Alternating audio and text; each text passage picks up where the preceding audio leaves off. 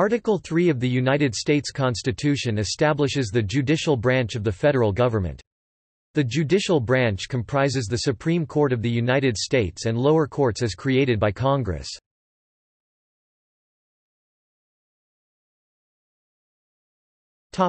Section 1 – Federal courts Section 1 vests the judicial power of the United States in federal courts, requires a Supreme Court, allows inferior courts, requires good behavior tenure for judges, and prohibits decreasing the salaries of judges. The judicial power of the United States, shall be vested in one Supreme Court, and in such inferior courts as the Congress may from time to time ordain and establish. The judges, both of the supreme and inferior courts, shall hold their offices during good behavior, and shall, at stated times, receive for their services a compensation which shall not be diminished during their continuance in office. Topic number of courts Article 3 authorizes one Supreme Court, but does not set the number of justices that must be appointed to it. Article 1, Section 3, Clause 6 refers to a Chief Justice who shall preside over the impeachment trial of the President of the United States. Since 1869 the number of justices has been fixed at nine by the Judiciary Act of 1869, one Chief Justice, and eight Associate Justices. Proposals have been made at various times for organizing the Supreme Court into separate panels, none garnered wide support, thus the constitutionality of such a division is unknown. However, in a 1937 letter to Senator Burton Wheeler during the Judicial Procedures Reform Bill debate, Chief Justice Charles Evans Hughes wrote, The Constitution does not appear to authorize two or more Supreme Courts functioning in effect as separate courts, the Supreme Court is the only federal court that is explicitly established by the Constitution. During the Constitutional Convention, a proposal was made for the Supreme Court to be the only federal court, having both original jurisdiction and appellate jurisdiction. This proposal was rejected in favor of the provision that exists today. Under this provision, the Congress may create inferior i.e., lower courts under both Article 3, Section 1, and Article 1, Section 8. The Article 3 courts, which are also known as constitutional courts, were first created by the Judiciary Act of 1789, and are the only courts with judicial power. Article 1 courts, which are also known as legislative courts, consist of regulatory agencies, such as the United States Tax Court. In certain types of cases, Article 3 courts may exercise appellate jurisdiction over Article 1 courts. In Murray's Lessee v. Hoboken Land and Improvement Co., 59 U.S. 18 How, 272 1856, the court held that there are legal matters, involving public rights, which may be presented in such form that the judicial power is capable of acting on them, and which are susceptible to review by an Article III court. Later, in Ex parte Bakelite Corp. 279 U.S. 438 1929, the court declared that Article I courts may be created as special tribunals to examine and determine various matters, arising between the government and others, which from their nature do not require judicial determination and yet are susceptible of it. Other cases, such as bankruptcy cases, have been held not to involve judicial determination, and may therefore go before Article I courts. Similarly, several courts in the District of Columbia, which is under the exclusive jurisdiction of the Congress, are Article I courts rather than Article III courts. This article was expressly extended to the United States District Court for the District of Puerto Rico by the U.S. Congress through Federal Law 89 to 571, 80 Stat. 764, signed by President Lyndon B. Johnson in 1966. This transformed the Article 4 United States Territorial Court in Puerto Rico, created in 1900, to an Article 3 Federal Judicial District Court. The Judicial Procedures Reform Bill of 1937, frequently called the Court Packing Plan, was a legislative initiative to add more justices to the Supreme Court proposed by President Franklin D. Roosevelt shortly after his victory in the 1936 presidential election. Although the bill aimed generally to overhaul and modernize the entire federal court system, its central and most controversial provision would have granted the president power to appoint an additional justice to the Supreme Court for every incumbent justice over the age of 70, up to a maximum of six. The Constitution is silent when it comes to judges of courts which have been abolished. The Judiciary Act of 1801 increased the number of courts to permit the Federalist President John Adams to appoint a number of Federalist judges before Thomas Jefferson took office. When Jefferson became president, the Congress abolished several of these courts and made no provision for the judges of those courts. The Judicial Code of 1911 abolished circuit riding and transferred the circuit court's authority and jurisdiction to the district courts.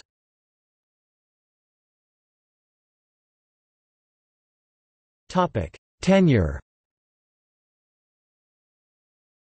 The Constitution provides that judges shall hold their offices during good behavior. The term, good behavior, is interpreted to mean that judges may serve for the remainder of their lives, although they may resign or retire voluntarily. A judge may also be removed by impeachment and conviction by congressional vote hence the term good behavior, this has occurred 14 times. Three other judges, Mark W. Delahay, George W. English, and Samuel B. Kent, chose to resign rather than go through the impeachment process.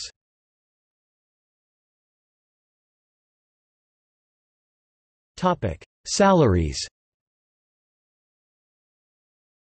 The compensation of judges may not be decreased, but may be increased, during their continuance in office.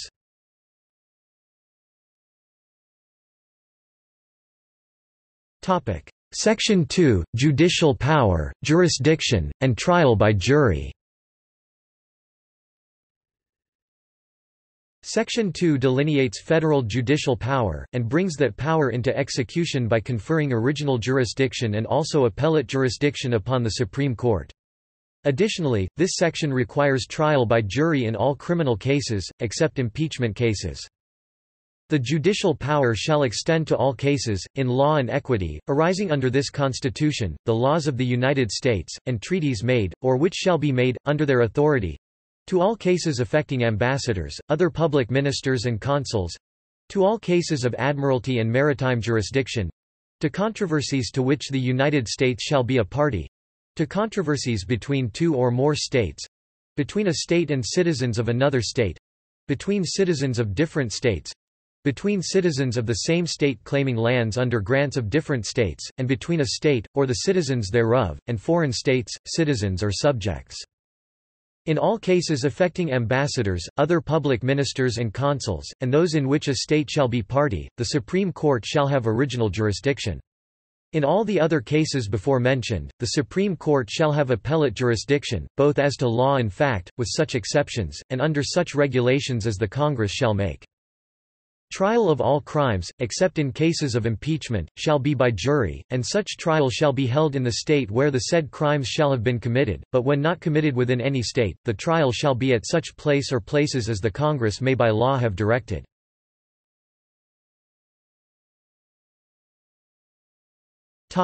Clause 1 – Cases and controversies Clause 1 of Section 2 authorizes the federal courts to hear actual cases and controversies only. Their judicial power does not extend to cases which are hypothetical, or which are proscribed due to standing, mootness, or ripeness issues. Generally, a case or controversy requires the presence of adverse parties who have a genuine interest at stake in the case. In Muskrat v. United States, 219 U.S. 346 1911, the Supreme Court denied jurisdiction to cases brought under a statute permitting certain Native Americans to bring suit against the United States to determine the constitutionality of a law allocating tribal lands. Counsel for both sides were to be paid from the federal treasury. The Supreme Court held that, though the United States was a defendant, the case in question was not an actual controversy, rather, the statute was merely devised to test the constitutionality of a certain type of legislation. Thus the court's ruling would be nothing more than an advisory opinion, therefore, the court dismissed the suit for failing to present a case or controversy. A significant omission is that although Clause 1 provides that federal judicial power shall extend to the laws of the United States, it does not also provide that it shall extend to the laws of the several or individual states. In turn, the Judiciary Act of 1789 and subsequent acts never granted the U.S. Supreme Court the power to review decisions of state supreme courts on pure issues of state law. It is this silence which tacitly made state supreme courts the final expositors of the common law in their respective states. They were free to diverge from English precedents and from each other on the vast majority of legal issues which had never been made part of federal law by the Constitution, and the U.S. Supreme Court could do nothing about that, as it would ultimately concede in Erie Railroad Co. v. Tompkins 1938. By way of contrast, other English-speaking federations like Australia and Canada never adopted the Erie Doctrine. That is, their highest courts have always possessed plenary power to impose a uniform nationwide common law upon all lower courts and never adopted the strong American distinction between federal and state common law.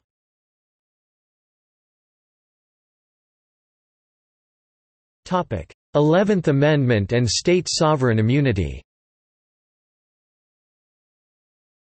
In Chisholm v. Georgia, 2 U.S. 419 1793, the Supreme Court ruled that Article 3, Section 2 abrogated the state's sovereign immunity and authorized federal courts to hear disputes between private citizens and states.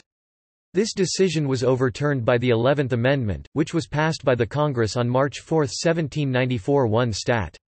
402 and ratified by the states on February 7, 1795. It prohibits the federal courts from hearing any suit in law or equity, commenced or prosecuted against one of the United States by citizens of another state, or by citizens or subjects of any foreign state."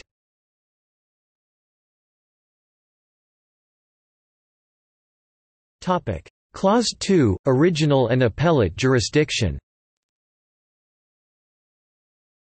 Clause 2 of Section 2 provides that the Supreme Court has original jurisdiction in cases affecting ambassadors, ministers and consuls, and also in those controversies which are subject to federal judicial power because at least one state is a party. The Court has held that the latter requirement is met if the United States has a controversy with a state. In other cases, the Supreme Court has only appellate jurisdiction, which may be regulated by the Congress. The Congress may not, however, amend the court's original jurisdiction, as was found in Marbury v. Madison, 5 U.S. Cranch 1 137 1803 the same decision which established the principle of judicial review. Marbury held that Congress can neither expand nor restrict the original jurisdiction of the Supreme Court. However, the appellate jurisdiction of the court is different. The court's appellate jurisdiction is given with such exceptions, and under such regulations as the Congress shall make." Often a court will assert a modest degree of power over a case for the threshold purpose of determining whether it has jurisdiction, and so the word «power» is not necessarily synonymous with the word «jurisdiction».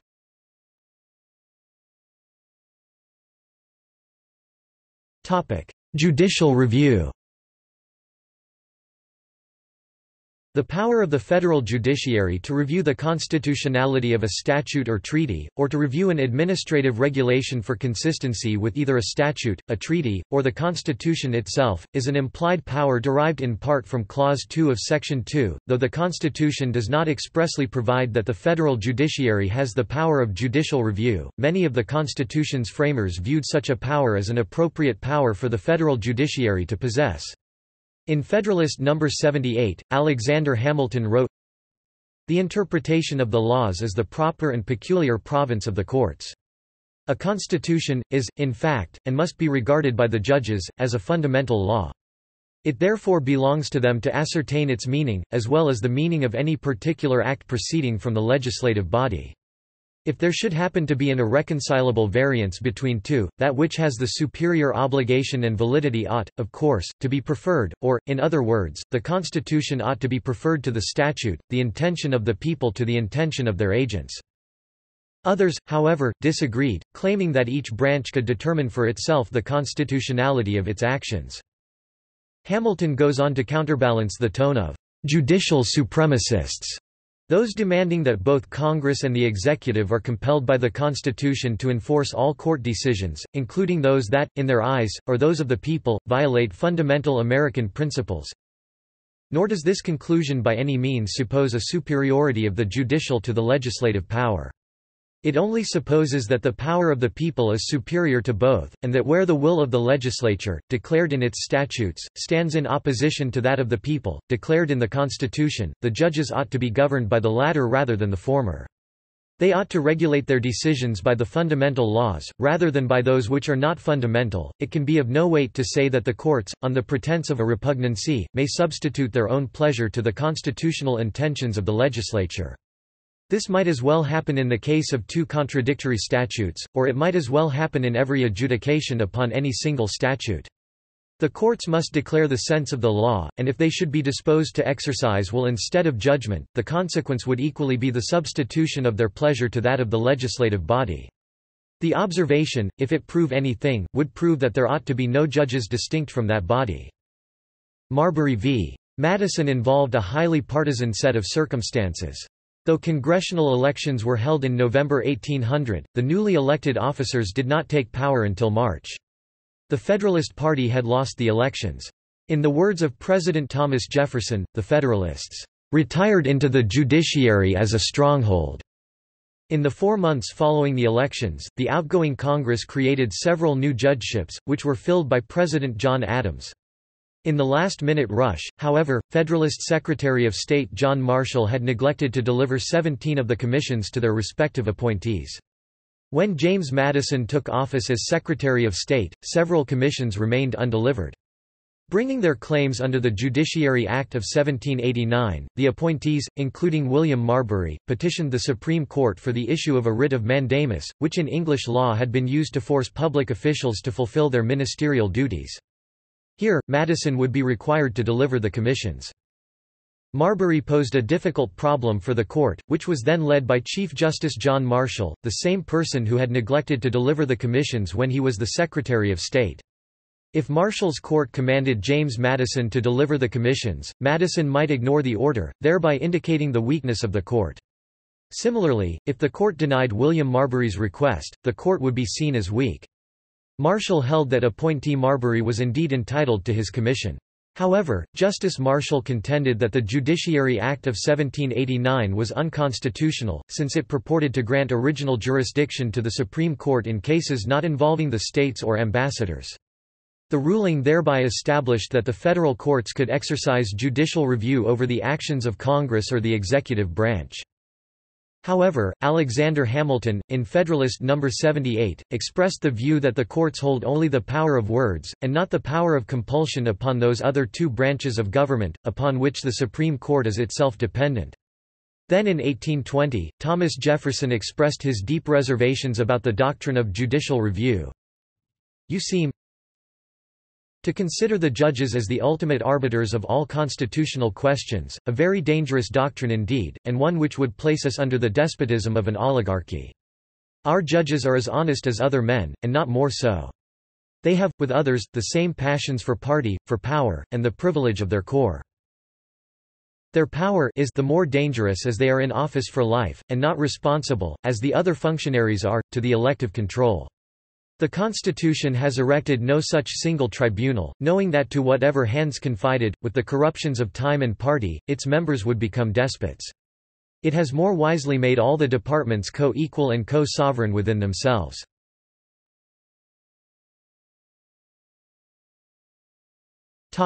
Clause 3 – Federal trials Clause 3 of Section 2 provides that federal crimes, except impeachment cases, must be tried before a jury, unless the defendant waives his right. Also, the trial must be held in the state where the crime was committed. If the crime was not committed in any particular state, then the trial is held in such a place as set forth by the Congress.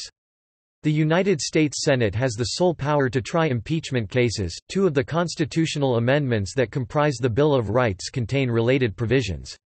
The Sixth Amendment enumerates the rights of individuals when facing criminal prosecution and the Seventh Amendment establishes an individual's right to a jury trial in certain civil cases.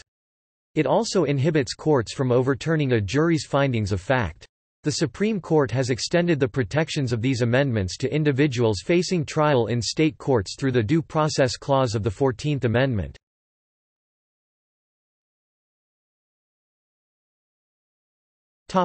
Section 3 – Treason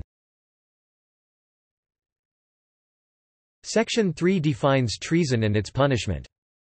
Treason against the United States, shall consist only in levying war against them, or in adhering to their enemies, giving them aid and comfort. No person shall be convicted of treason unless on the testimony of two witnesses to the same overt act, or on confession in open court. The Congress shall have power to declare the punishment of treason, but no attainder of treason shall work corruption of blood, or forfeiture except during the life of the person attainted. The Constitution defines treason as specific acts, namely, levying war against the United States, or in adhering to their enemies, giving them aid and comfort." A contrast is therefore maintained with the English law, whereby crimes including conspiring to kill the king or violating the Queen, were punishable as treason. In Ex parte Bollman, 8 U.S. 75 1807, the Supreme Court ruled that there must be an actual assembling of men, for the treasonable purpose, to constitute a levying of war." Under English law effective during the ratification of the U.S. Constitution, including the Treason Act 1351, there were essentially five species of treason. Of the five, the Constitution adopted only two, levying war and adhering to enemies. Omitted were species of treason involving encompassing or imagining the death of the king, certain types of counterfeiting, and finally fornication with women in the royal family of the sort which could call into question the parentage of royal successors. James Wilson wrote the original draft of this section, and he was involved as a defense attorney for some accused of treason against the Patriot cause.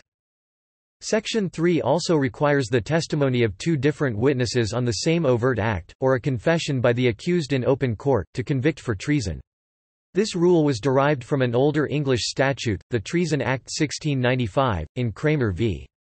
United States, 325 U.S. 1 1945, the Supreme Court ruled that e very act, movement, deed, and word of the defendant charged to constitute treason must be supported by the testimony of two witnesses."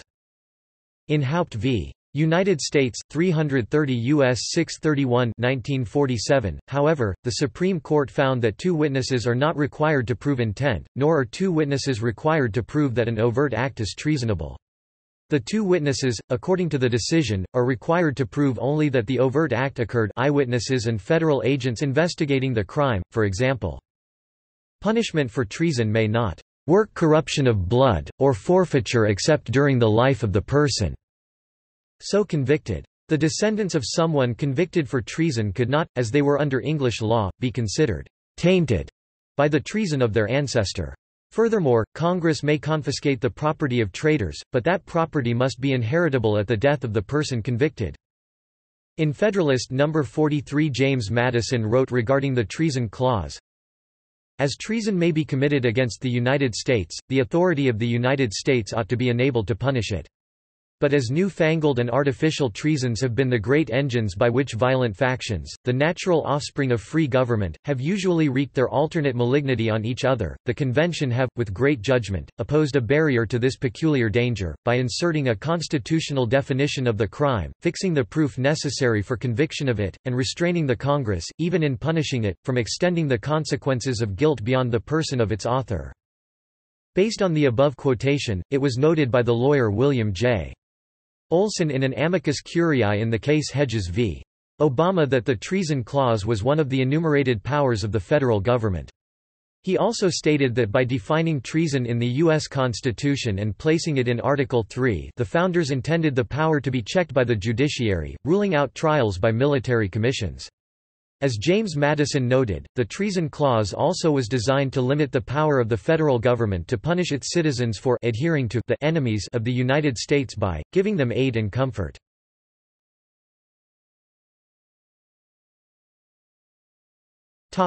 See also